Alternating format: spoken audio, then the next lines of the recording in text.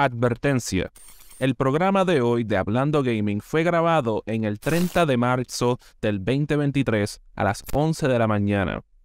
El contenido que están viendo grabado en el día de hoy fue grabado previo a la noticia de la cancelación de E3 2023. So, todo lo que estarán viendo es lo que se grabó antes de que eso sucediera. Cualquier cosa que aparezca, ya saben que es la que hay. Eso dicho, pendiente a lo último, que estaremos haciendo un resumen bien breve de lo que ocurrió con la noticia de la cancelación de E3. Muchas gracias y gracias por su patrocinio.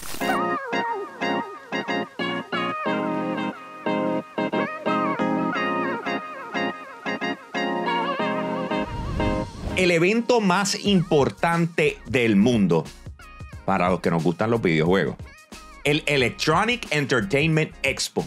E3, en este caso, 2023. Estamos emocionados porque sea junio. Ahí es cuando se va a anunciar todo, porque van a estar absolutamente todas las compañías más grandes de la industria de videojuegos. Not really. De hecho, yo creo que las más grandes ya no van. Si las compañías más grandes no van, el E3 debe suceder. O puede que se cancele. Eso es una de las cosas que vamos a estar hablando ahora, porque la realidad es que en estos días los anuncios que hemos tenido acerca del E3 2023 le pone el question mark más que cualquier otra cosa. ¿Por qué? Oye, lo anunciaron. Lo primero que anunciaron fue que dijeron, mira, tenemos una gente nueva que va a trabajar el, el, E3. Estos son los que hacen el, Star Wars Celebration, eh, son los que trabajan PAX. O sea, ellos son eh, eh, unos duros. Ellos saben exactamente lo que hacen y nosotros tenemos que relanzar el E3, tenemos que, que, que este evento eh, continúe con su relevancia, continúe con su importancia, etc. pero ven acá, antes de nosotros hablar lo que está pasando ahora, este tema nosotros no lo habíamos tocado antes. Este tema no era algo que habíamos discutido de, cómo o en qué dirección tenía que ir el E3 en el 2019. De hecho, en el 2019 nosotros no estábamos diciendo que Gamescom estaba cogiendo más importancia que el E3 porque el E3 tenía una desconexión enorme o simple y sencillamente había cambiado tanto que se había alejado de sus raíces y había comprometido lo que era su importancia y relevancia para el mercado de la industria de videojuegos. Estos no son temas que se han tocado y de repente ahora nos está tomando por sorpresa que las cosas vayan en mal camino. En este segmento vamos a estar discutiendo no solamente lo que pasó en el pasado, sino lo que está en estos momentos afectando el futuro del evento que fue el más importante de la industria por más de dos décadas. ¿Ok? Así que vamos a meterle a esto. Me gustaría comenzar eh, especialmente con King Zero. King Zero, porque tú llevas viendo este evento desde chamaquito. Llevas eh, disfrutándolo eh, como que, wow, esto aquí está todo, etcétera. Tuviste la oportunidad, igual que la hemos tenido todos, de ir al evento. háblame primero de expectativas versus realidad. ¿Tuviste lo, cuál, cuál, fue el primer año que fuiste al E3? Fue en el año 2014. Literalmente tenía como 22 años aquel entonces. Ok, explícame, explícame expectativa versus realidad para que la gente entienda eh, la esencia del E3.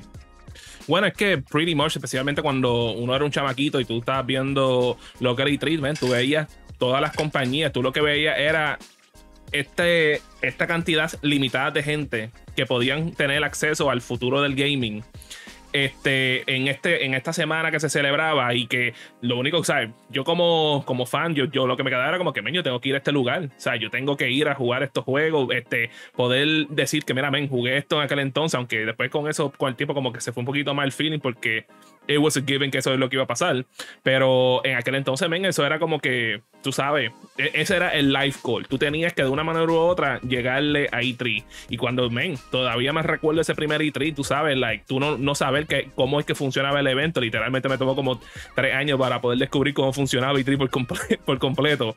Y después más que estuvimos en 2019, después de eso, pues no hemos tenido, no hemos tenido otro más por ahí. Y de verdad es una experiencia que, hablando claro, ningún otro evento provee. Tú sabes, like, ah, pueden tratar, pero no, no te ofrecen lo mismo, pienso yo. No, claro, o sea, porque volvemos, se, puede considerar que el E3 es la primicia.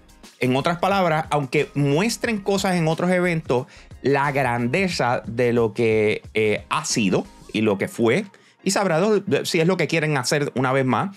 Eh, el E3, el Electronic Entertainment Expo, eh, pues obviamente marca un antes y, y, durante y después, ¿ok?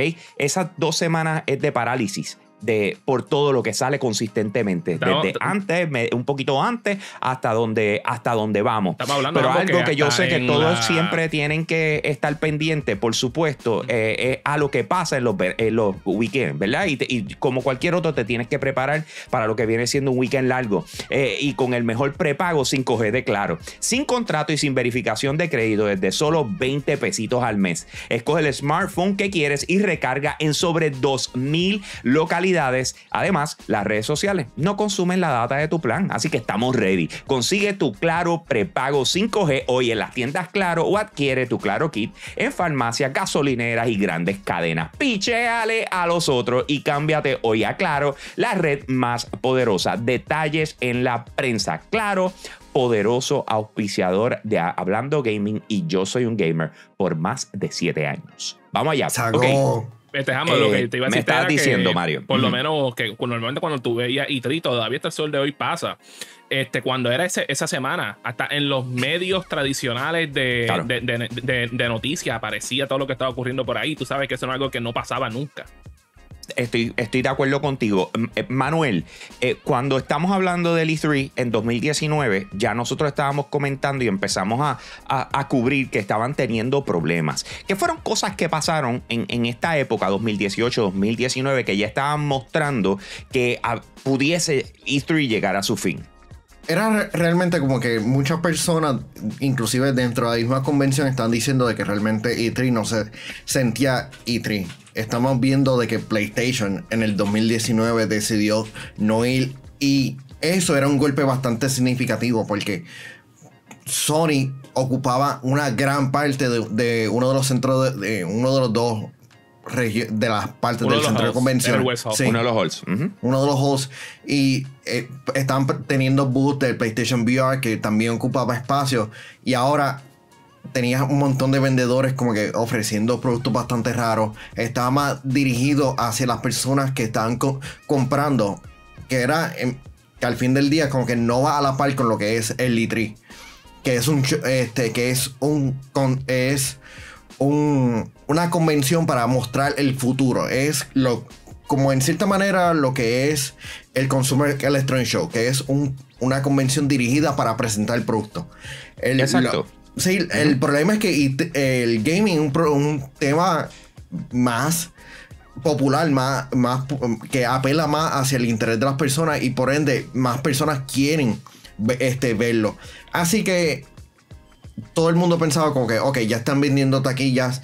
Eventual, eventualmente en el 2020 estaremos viendo más personas este, siendo parte del evento. Y cuando me refiero a personas, más taquillas. Sí, pues el público general teniendo un rol más importante. La, pandemia fastidió y sin duda no se han vuelto a recuperar. Y lo que me está raro es que PAX se pudo recuperar. Gamescom se pudo recuperar. Tokyo Game Show se pudo recuperar. La ESA y Red Pop han fastidiado este evento. Ok, eh, vamos, vamos entonces a hablar un poquito de lo que está pasando ahora mismo para que entiendan. En el momento en que se anuncia que E3 regresa en 2023, eh, inmediatamente empezaron los rumores de que Nintendo no iba a estar, de que PlayStation no iba a estar, de que Xbox no iba a estar. ¿Y qué pasó? Que fue, fueron confirmados. O sea, PlayStation no va, Nintendo no va. Y Xbox es un fake. O sea, para que estemos en la misma página, Xbox aprovecha esa semana Y como ellos tienen el, el, no sé si es que son dueños o es que tienen el auspicio naming- principal los naming del rights, porque antes era- naming rights antes era del Microsoft Theater. Theater. Exacto. Acuérdate que ellos compraron Nokia, por lo menos una de las divisiones de Nokia, eh, incluyendo el nombre. Entonces, eh, eh, parece que ese auspicio se trasladó eh, a, a Microsoft. Y entonces ellos ahora tienen el Microsoft Theater, que está al lado. Está literalmente al lado de- del LA Convention Center. Como tres minutos Así caminando.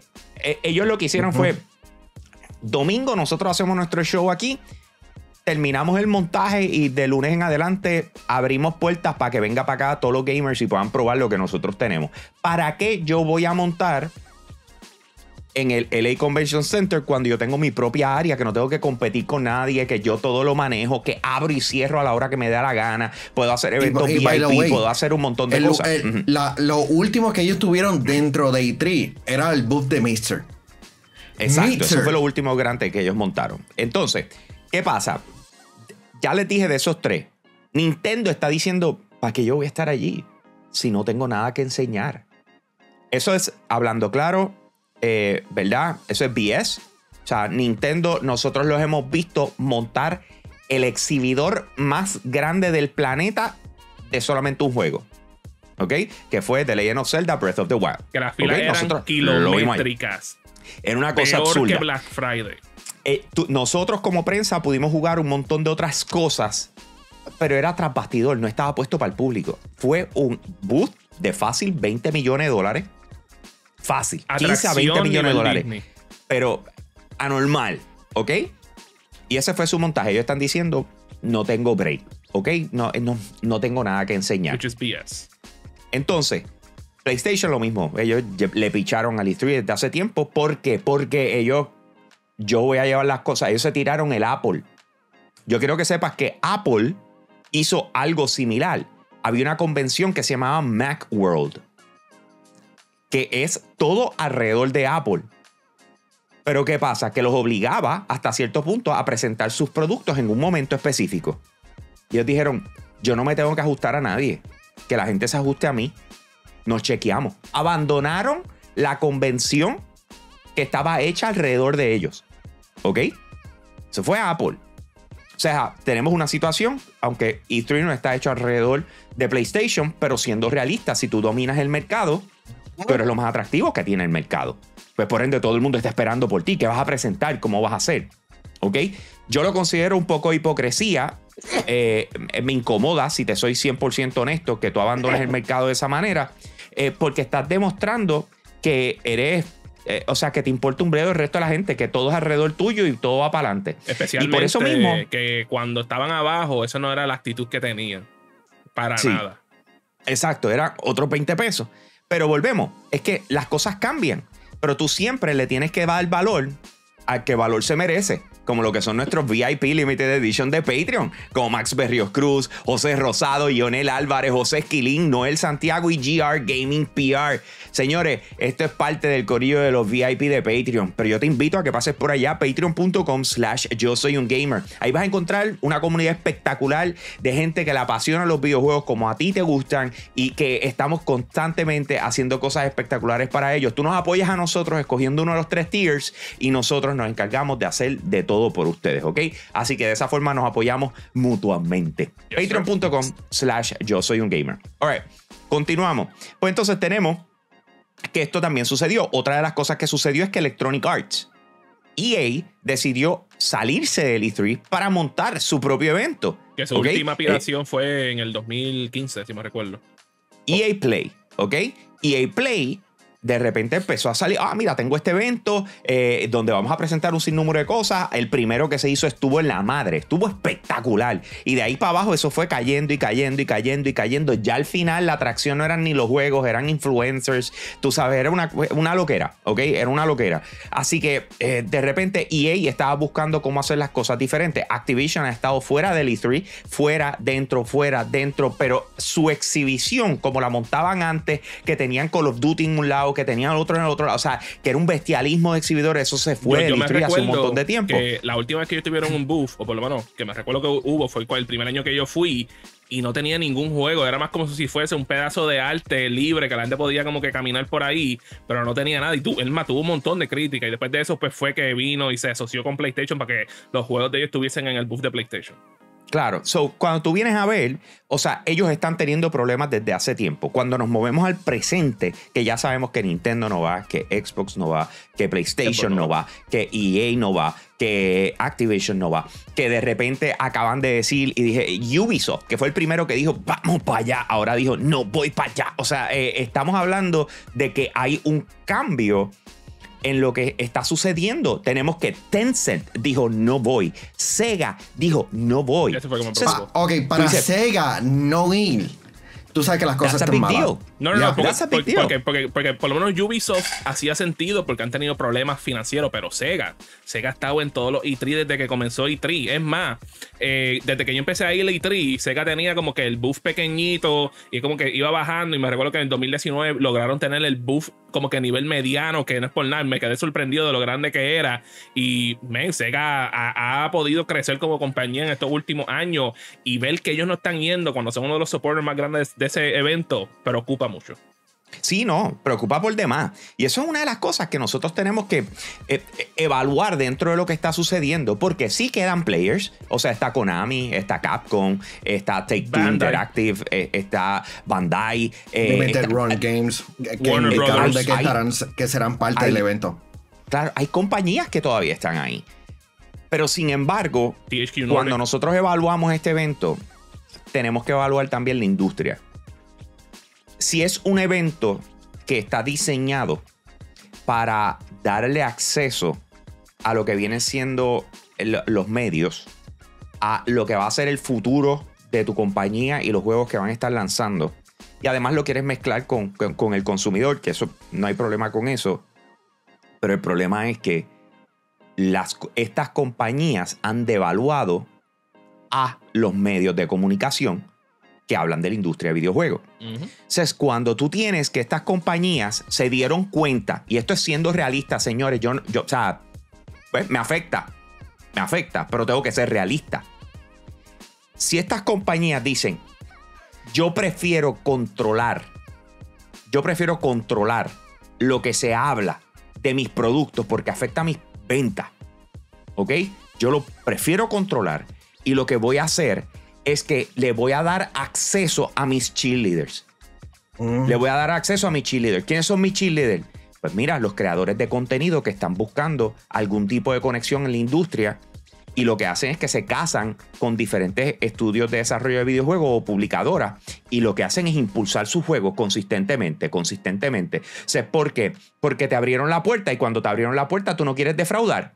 Pues mm. por ende ellos dicen, espérate, yo voy a gastar 20 millones de, dólares en hacer una exhibición brutal para que venga una fila de medios, pruebe mis cosas y después se vayan por ahí a decir, eh, esta gente no está lista, o esto es una mierda, esto no sirve. O, ah, posiblemente no, no hagan ni siquiera el trabajo. Exacto. Entonces tú, tú dices, para eso yo prefiero hacer un buen direct, hacer una buena presentación en línea y activar inmediatamente a mis minions para que ellos se encarguen de difuminar correctamente mi contenido y hacérselo llegar, o sea, y lo vendan, hagan el trabajo de vender mi contenido. Cuando tú estás viendo lo que está pasando en E3, trajeron a una gente que se dedica a desarrollar eventos para el público en general, no para los medios. Y esto no es un evento que es para el público general. O sea, le pusieron público general, pero desde pusieron... tú no sabes si esa es la nueva dirección. Y entonces ahí es donde volvemos. Ahí es donde volvemos. Si tú trajiste a esta gente, no es para que te corre lo que fue. O sea, tú dijiste, tú los trajiste a ellos para que lo cambien. Y esa visión, cuando tú eres la ESA que representas a la industria, no puede ser basada en un grupo, tiene que ser basada en la industria. Y si, tú, si la industria no coopera, pues entonces tú tienes que hacer un shift. Y los cambios regularmente, cuando son drásticos, reciben lo que está pasando ahora mismo. ¿Qué yo pienso que va a pasar eh, con E3? Un cambio drástico. E3 como fue, no more. Esto va a ser otra cosa vamos a tener una experiencia diferente. Las compañías van a aprovechar esta semana, la ven como el momento del de, de presentar todo lo del game, del gaming. Y weekend. pienso que muchas de estas Yeah. compañías lo que van a hacer es que van a apoyar a Jeff Keighley con Summer Game Fest. Pero es que el, el issue que yo tengo con, con Jeff Keighley es que él dice, ah, Summer Game Fest, pero tiene- es una presentación y un evento pequeño. Lo que es Summer Game Fest realmente como que, ah, es lo mismo que estamos haciendo nosotros eh, eh, en los pasados años, como que, ah, mira, estamos cubriendo todos los eventos. Ellos lo que realmente es, es como que, mira nuestro hub en donde tenemos. Summer Game Fest, yo no creo que tenga el mismo el mismo peso que E3 en cuestión de lo que realmente representa E3. Para el público, porque el público general cree que E3 realmente son las convenciones. E3 no es este la convención, este, La no son las las conferencias nada más, es simplemente los meetings y todo eso. Lo que realmente cagaron E3 es la ESA. Es la realidad, pero no puedes cambiarlo, Manuel. O sea, la realidad es que eso pasó. En el momento en que las cosas se vieron nasty, Jeff Keighley hizo, chequeamos. A la que hubo un momento de vulnerabilidad en el E3, que fue el COVID, tú perdiste a tu productor más grande. Y vino el COVID. Y el productor más grande dijo, oh, dude, it's my time. Y cogió y bajó el marrón. Y vino, y vino eh, Xbox y dijo, papi, pero es que yo no tengo plan de meterme ahí. Y él le dijo, relax. Yo no quiero que tú entres aquí. Yo, yo voy a ser tu cheerleader. Piénsenlo. La actitud de Jeff Keighley fue la misma actitud. O sea, él hizo lo que las compañías querían que los medios hicieran. Vía cheerleader. Ah, tengo el evento de Xbox. Viene el evento de Xbox. Chequenlo. Está, aquí está el calendario de lo que es el Summer Game Fest. Ah, que yo estoy relacionado directamente. No. Eso es de ellos. Pero tienen que verlo. Y después viene y hace, oye Xbox, ¿tú me permites hacer algo después de tu, después de tu conferencia, de tu presentación? Montar algo como un, reaction video y tengo a par de tus desarrolladores, tú sabes, que vengan para acá para hablar y terminar de pompear lo que presenta. Eso es buena. O sea, piénsenlo. Lo que estaban viendo, lo que estaba viendo la industria fue lo que Jeff Keighley les dio. ¿Tú me sigues? Ah, que no nos gusta, que nosotros queremos el pampering que recibe el, el medio, que recibe eh, eh, eh, ¿cómo se- el periodista, el que trabaja todo el año hablando de la industria. Sí lo queremos, pero ya no tiene el peso de antes. Porque si la gente se quiere enterar qué rayos pasa con PlayStation, lo siguen en las redes sociales. Se acabó. No- necesitan que yo te lo diga, que tú se lo digas, So- que el otro se lo diga. ¿Te gusta PlayStation? Lo sigue en las redes sociales. ¿Te So, gusta la- Xbox? la- Lo sigue en las redes sociales. Eso es la que hay. So, la cosa es, a este punto, ¿E3 sigue o lo cancela? Cien- ustedes siendo este, productores del evento. ¿El show sigue para o lo cancela? Yo voy para adelante. Yo voy para adelante. Ah, que es un reguero que solamente tengo 5, hago un evento de 5. Ah, solamente tengo 10, hago un evento de 10. Pero si yo soy la ESA y yo soy eh, Red Pop, es que se llama, ¿verdad? Sí, Red Eh, eh, yo voy para adelante.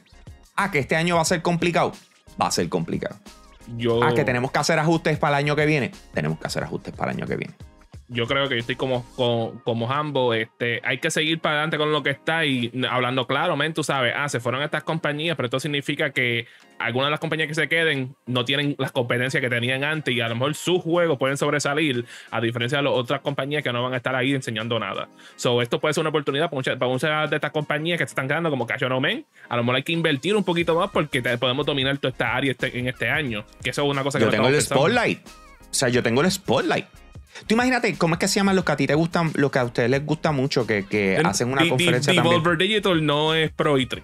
So, te lo, Eh, te lo lo- dejo así. Pe- Pero, pero todas estas compañías tienen la oportunidad de ser creativos con el nuevo grupo. ¿Me entiendes? Tú puedes decir que Devolver Digital no es Pro E3, pero recuerden que tenías un grupo de trabajo que estaba manejando lo que era el ESA. Todos se fueron. ¿Ok?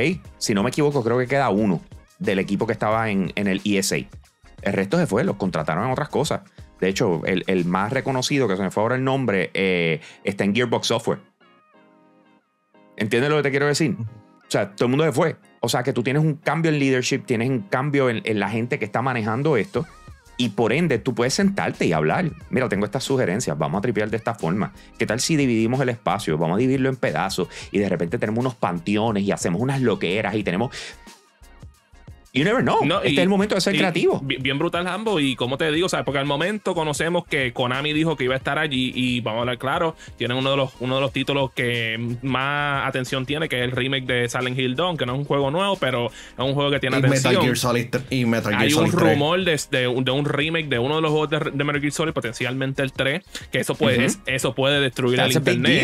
deal. That's a big deal. Nos ponemos a pensar, ¿sabes? Está Capcom, que siempre, aunque se anuncian algo grande en E3, tenemos la gente de Bandai Namco, que siempre tienen un exhibidor bien grande. Warner Brothers tiene algo por ahí que... Square Enix. Es verdad, no hemos hablado de Square Enix. Square Enix. Tú sabes, eso puede ser. Final Cuando tú vienes a ver, hay, 16. hay- o sea, hay players. Hay players. Y no estamos pensando ni siquiera en la industria de, de móviles. O sea, de los juegos móviles. O sea, hay muchas cosas que pueden pasar en E3. Me gustaría saber para aquellos que nos están viendo qué tú piensas. ¿El E3 debería ser cancelado? ¿El E3 debería ir para adelante después de haber escuchado todo lo que hemos explicado durante este segmento? Escribe en los comentarios ahora mismo. Queremos saber tu opinión y recuerda suscribirte a nuestro canal si no lo has hecho hasta este punto en YouTube. Suscríbete a Yo Soy un Gamer. Vas a estar al día con lo último en videojuegos, tecnología, entretenimiento y de esa forma cerramos este segmento. Nos fuimos. Hola muchachos, este, muchas gracias a todos ustedes por ver el episodio que estuvimos grabando en el día de hoy. Este, como se dieron de cuenta, el show fue grabado antes de que la noticia de la cancelación de E3 este, se diera a cabo. Este, considerábamos que queríamos enseñarle ese video a, ustedes, ya que lo habíamos este, grabado, grabado para ustedes el público, pero también consideramos que necesitamos informarle a ustedes, pues qué fue lo que pasó, porque literalmente, como dijo el video, el episodio fue grabado a las 11 de la mañana. Ahora mismo yo le estoy aquí hablándole a ustedes y son las 9 y 48 de la noche del 30 de marzo del 2023. O sea, literalmente un par de horitas después de eso. Este, y pues. Vamos a hablar claro, muchachos. Este, eh, la gente de IGN, este, porque literalmente lo vamos a ir aquí este, lo más breve posible, lo más rápido. A este, básicamente, la gente de IGN este, rompió la noticia con el exclusivo, este, anunciando la cancelación de E E3 2023.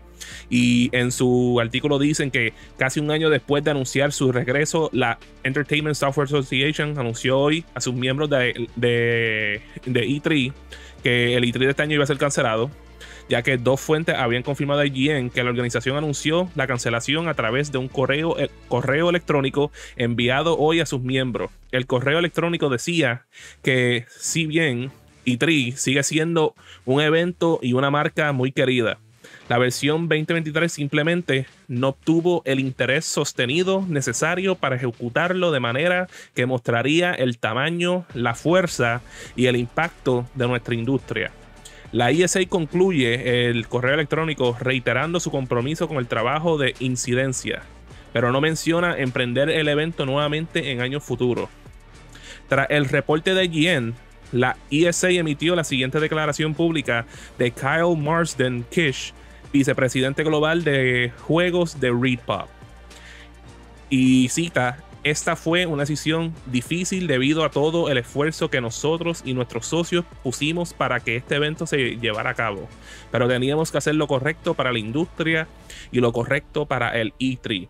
Agradecemos y entendemos que las empresas interesadas no tendrán demos jugables listas y que los desafíos de recursos hicieron que estar en el E3 este verano fuera un obstáculo que no pudieron superar.